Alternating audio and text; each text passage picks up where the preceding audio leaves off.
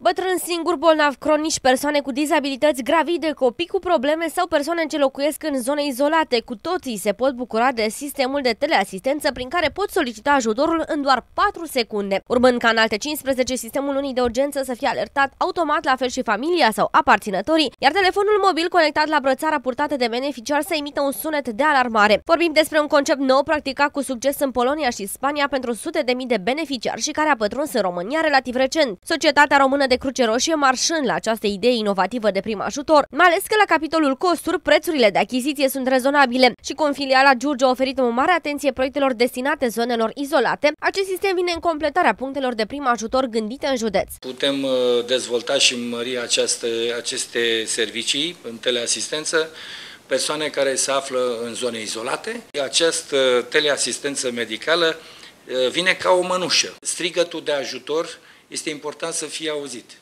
Uh, iar uh, prin ceea ce uh, oferim și ceea ce ne propunem să implementăm în județul Giurgiu este acest sistem teleasistența pentru toate categoriile care include un ajutor, da?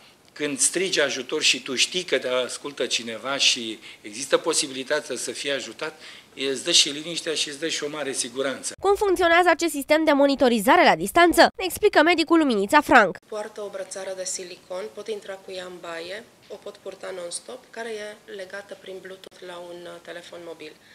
El stă în casă într-un loc fix uh, și în, e făcut în așa fel încât ea nu se declanșează din greșeală. Dacă apăs Uh, nu se declanșează alarma. În cazul în care am nevoie de ajutor, țin apăsat 4 secunde da? și imediat încep să declanșeze alarma. E făcută să sune foarte tare în cazul în care sunt lovită la cap sau nu ajut, poate că mă ajută. Dacă sunt cumva în afara casei, iarăși trecătorii mă pot ajuta și în cazul în care eu nu pot vorbi, în aceste 15 secunde s-au trimis 5 SMS-uri către centrul nostru de monitorizare, unde deja operatorul scoate fișa sociomedicală și încă alte numere. Poate să fie fiul, fica, medicul, preotul, în funcție de caz, directorul din... Da? În același timp se inițiază... Bună ziua, cu ce vă pot ajuta?